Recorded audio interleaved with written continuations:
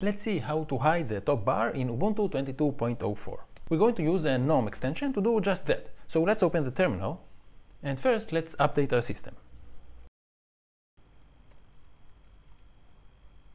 Great, our system is updated. Let's now install the GNOME Shell Extension Manager.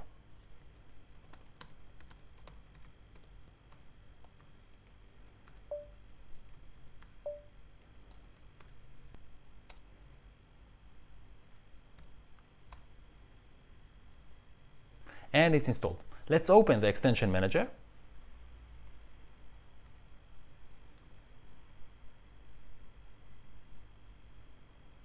And let's switch to the Browse tab.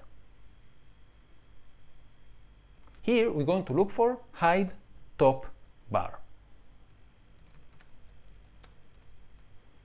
And the second extension is exactly the one we want, Hide Top Bar. So let's install it.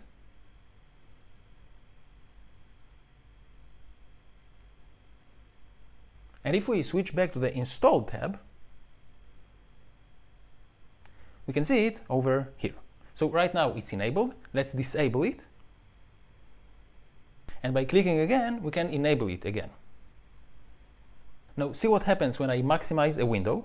So let's close this one and let's maximize the terminal. And the top bar disappeared.